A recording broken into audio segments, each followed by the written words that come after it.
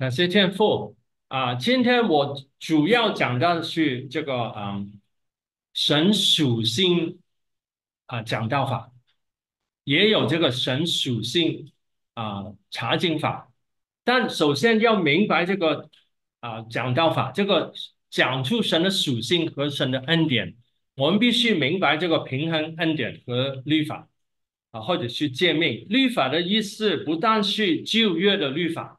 而是圣经里面所有的诫命都属于律法，就是怎样平衡这两点啊？虽然有些人曾经听过这个主题，但你能不能够啊随时说话都是充满恩典，这一点非常重要啊！因为很多时候人就会很容易就会会说你要做什么，你要做什么，但是没有问题，但必须有恩典。鼓励人、推动人，圣经里面也是这样的。好了，我们啊，首先啊，解释一下为什么需要平衡呢？因为很多人都是长大在律法之下，就是你小的时候，或者是你啊读书啊，或者是你结婚之后啊。都是说你要乖啊，你要听话啊，你要做好你所有的东西啊，你做不好就没有人喜欢你了啊，你做不好我就跟你离婚了。有些啊夫妻的关系都是很多，你要做什么你要做什么，你不做什么就什么不好的后果，这些啊都是真实的啊。对不起啊，啊我们讲到这个嗯。对不起啊，这个平平衡恩典和律法，就是说啊，很多人都是活在律法之下，很多人都是啊被律法控制、被律法推动。我要做什么，我要做什么，这样的话就有压力，而且不能享受，不能喜乐。就是说我做的不够好。信了耶稣之后，应该是活在恩典之中的，但很多时候初信主是恩典，但后来就。啊，都是很多要求，要读圣经啊，要去啊祷告啊，要遵从神啊，要传福音啊，要做事这些啊，要离开罪啊，你没有做好，所以呢，神就不太喜悦你了。就是很多时候都是这样，你做的不够好这个情况。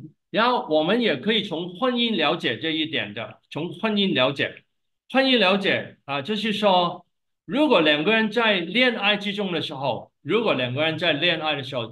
啊，左边的就会很乐意帮助对方啊。我跟我的太太去常常都去彼此相爱，我们都去享受生命，想彼此享受的啊。我很乐意为他做什么事情，我见到他开心我就开心了啊。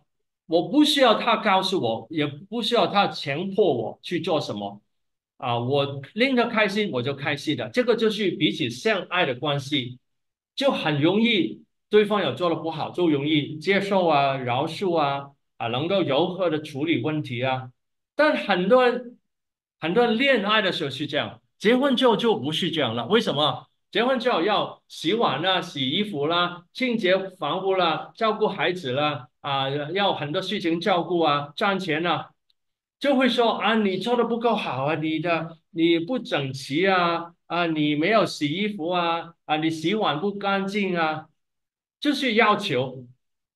如果在婚姻里面，但是要求，肯定这个婚姻会变得越来越干啊，骨干是不是？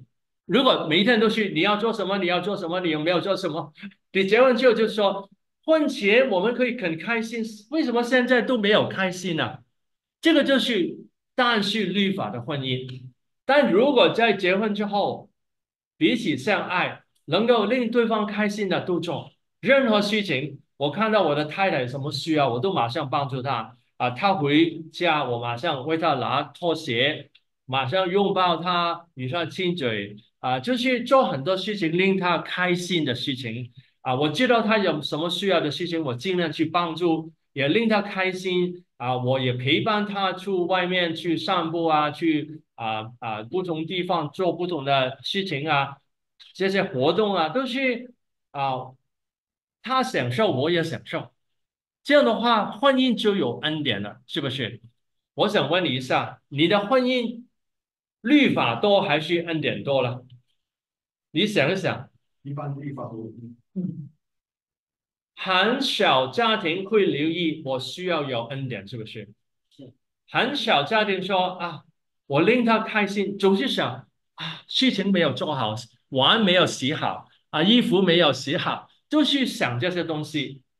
这些东西都是要做，但很重要，婚姻能够享受是有恩典。同样亲近神，尊重神。如果都是整天你要亲近神，你要悔改，你要尊重神传福音，你要讲道，你要做做做做什么，然后你做的不够好，你整天都是做的不够好，或者是要做什么要做什么，是不是就变为好像这个枯干的婚姻一样了？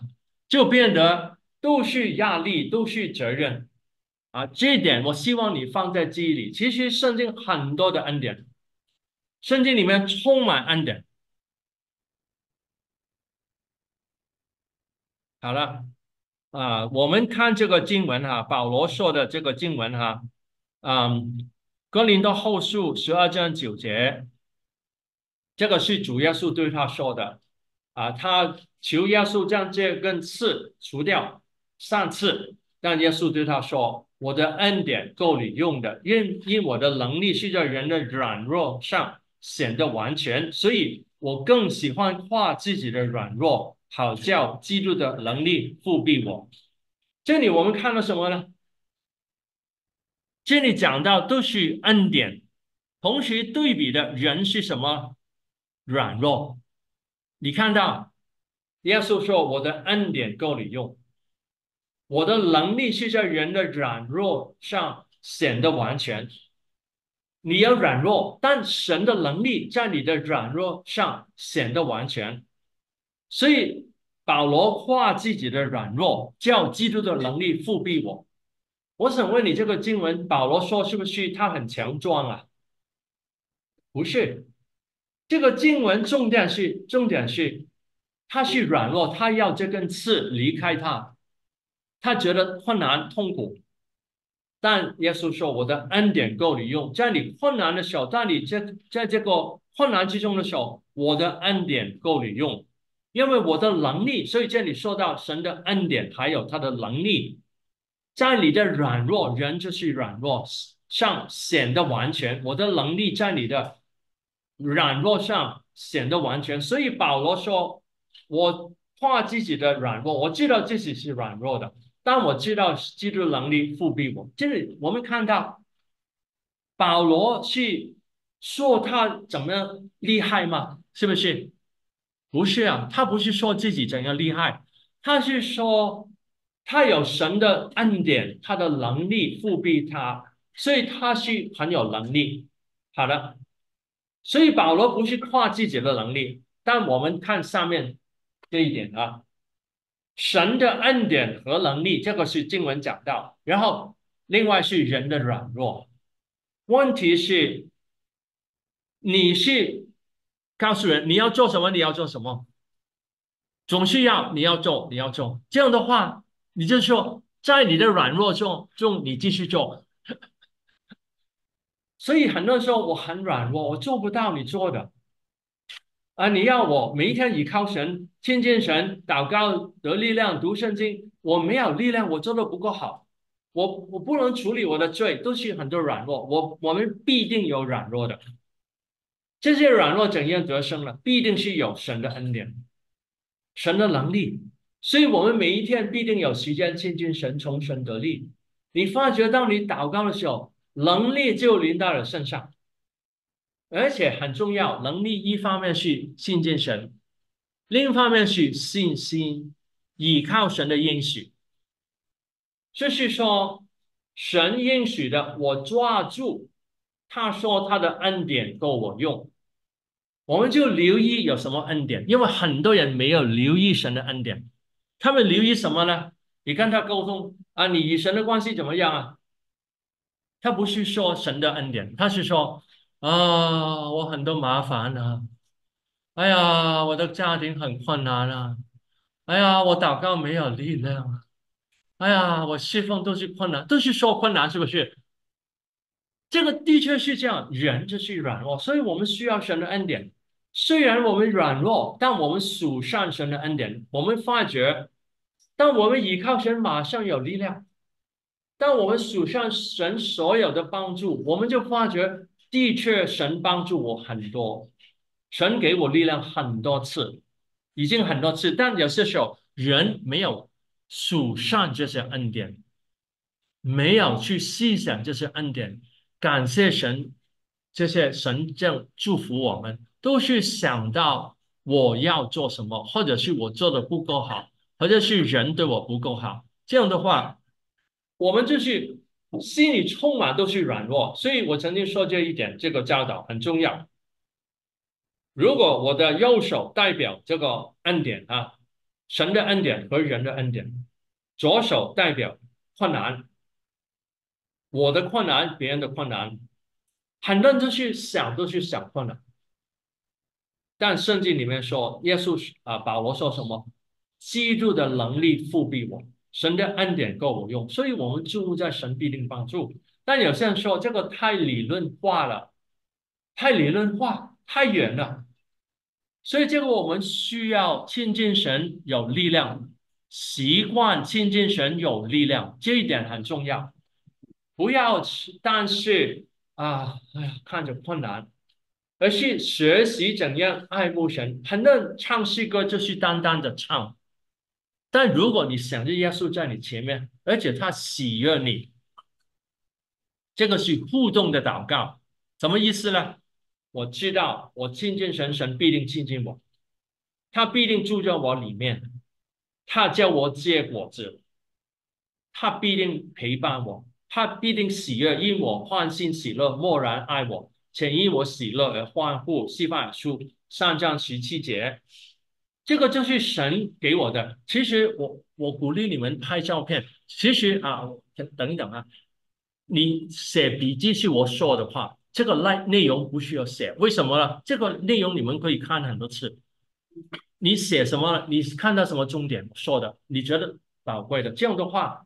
你更能够得益处啊！是你是因为这个，你可以拍照片就可以的，或者是录音哈。好了，我刚才说什么了？基督徒如果学的怎样重生得力，怎样赞美主，马上有喜乐，是不是有？大部分基督徒赞美主都有喜乐，都有平安，都有力量。看着圣经的经文也有力量，细想神以前的祝福也有力量，但人。不是选择想这些东西，但他不开心的时候，他想什么呢？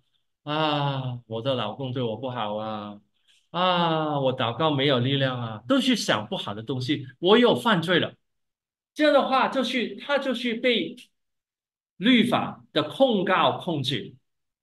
所以我鼓励你，整个人活在神的恩典中，神在爱我，神在祝福我，神给我周围的人。有帮助我的都是恩典，我感谢神。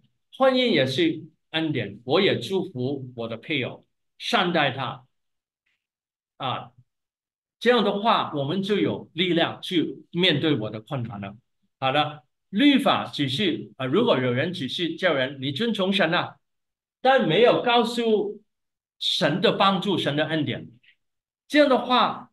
这是靠人的软弱来顺从神，就是你要祷告啊，你你啊，你没有力啊力量，你祷告你祷告，但没有说你祷告神就马上回应你，他马上将平安赐给你。当你祷告有平安，就是神回应你，神去陪伴你。所以我们告诉人做什么，都告诉他神喜悦你，这一点很重要。为什么呢？我们。讲到的时候，都是说，当你亲近神，神就喜悦你，因你欢欣喜乐，喜乐因你喜乐而欢呼，他就很开心，所以你们也可以开心。这样讲到，人就会有力量，他是抓住神圣经的应许。但很多人讲到，就是说，你们没有悔改，你要悔改；你没有读圣经，你要读圣经；你没有啊祷告，你要祷告啊；你没有正从神，你要正从神。都是说你要做什么，你没有做什么，所以我们需要改变。你教导孩子也是这样，教导孩子的时候，不但是说你不乖，你不乖，而是说你有乖的地方，你做的很好啊，你继续努力啦，神又使用你祝福你了，这个就是有吩咐人做什么的事情都有恩典，同时同时有恩典，所以我们是应该用神的恩典。神的恩典有什么呢？上面写，其实有更多的，神帮助我们，他赐喜乐、耐心给我们，有力量给我们，有给我们恩赐，有智慧，有供应，供应我们需要有计划，有赏赐，从头到尾，他是创始成终的耶稣。这样的话，我们就平安了，轻松了。好了。很多经文都有讲到恩典的，有讲有讲到律法和恩典。我们需要分辨什么是律法，什么是恩典。不但是告诉人啊，这个律法也告诉人有恩典。在马太福音六章二十五节开始，这里说不要为生命忧虑是什么？很多就是说不要忧虑，不要忧虑，但没有说后后面的。后面说什么呢？你看天上的飞鸟。也不重，也不瘦，也不继续在唱唱里。你们的天赋尚此养养活它，你们不比飞鸟贵重的多吗？据说，这里耶稣是告诉他们不要忧虑，为什么呢？因为天赋养活他们这些飞鸟，你比飞鸟更贵重，所以神必定养活你。这样的话就帮助人，神必定祝福的，不会有一个基督徒去到天上，去到天上的小，神对他说：“对不起啊，我忘记帮助你，所以就饿死了啊！你就现在你嘛啊这么啊年少就来到我这里了，因为我忘记帮助你啊，求你啊饶恕我了，对不起啊。”耶稣不需要这样说的，耶稣会说：“我给给你恩典，你没有看到，所以你就不甘。”其实神的恩典常常与我们同在，然后先求他的国和他的义，这是人应该做的。有些人就去说你要先求他的国和他的义，但后面的应许是什么？这些东西都要加给你们的，神都要祝福你的。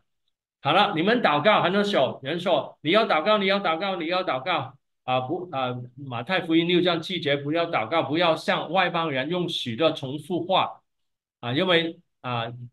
就是说你要祷告，但后面所说的他们没有说，你们没有祈求以前，你们所需用的，你们天父早已知道了，他已经知道你的需要了，所以他很乐意的祝福你，很乐意的，他知道你的需要。当你爱他的时候，他就将你心里啊所求的，你你啊啊人性眼睛未曾看见，耳耳朵未曾听见，人性未曾想到的。神都赐给你，所以这个经文都讲到有律法和恩典。有些经文没有恩典，但从整本圣经都有的。啊啊，我其实会解释一下的，就是任何经文，你可以看到律法，也可以看到背后的恩典。但很多人就是单去讲这个律法，单去讲应该做什么。好的，这个经文。哥林多前书二章九节，很多人告诉人，你要爱人，爱神，爱人啊。神说，神为爱的人所预备，是眼睛未曾看见，你耳朵未曾听见，人心也未曾想到。这个就是恩典。你爱神，神就为你预备你想也想不到的恩典。不但是说你要爱神，你更爱神了，更爱神。有些真但是告诉人，你要做什么，你要做什么，就好像这个。太太结婚之后就告诉老公你要做什么，你要做什么，总每一天都是这样。这样的话，老公就说：结婚前你会笑，结婚之后你就去吩咐，然后我没有做到你就发怒，所以很多婚姻就破裂了，因为没有这个恩典，都是律法。好了，马马可福音九章四十一节：凡因你们是属基督的，给你们一杯水喝的，我实在告诉你，这他不能不得赏赐。啊，我们服侍神，很多告诉人，你们要服侍神啊，要服侍神，但没有讲后面的一句话，就是将一杯凉水给一个属基督的，都不能不得赏赐，神必定赏赐你，所以神必定祝福你。你为神做什么？你探访人，你去预备讲道，神都喜悦。我们也可以这样鼓励自己啊。我这样侍奉神，神很喜悦，神很开心啊。虽然我们有不完美的，不是说我们是完美，有不完美，你就说耶稣求你赦免我，求耶稣赦免你。然后神赦免了，我们侍奉的时候也有做的不够好的，我们没有耐心啊，没有信心啊，没有喜乐啊，都是罪啊。这个啊，我们就求神赦免。我们求神赦免之后，我们做任何的事情，神都喜悦，神都赏赐，所以我们就可以整天说，神喜悦我所做的，不是我做的完美，而是因为神的恩典，神喜悦的。好了，罗马书八章三十三节控告，其实基督徒也有控告的啊，他做的不好，你做的不好，你啊。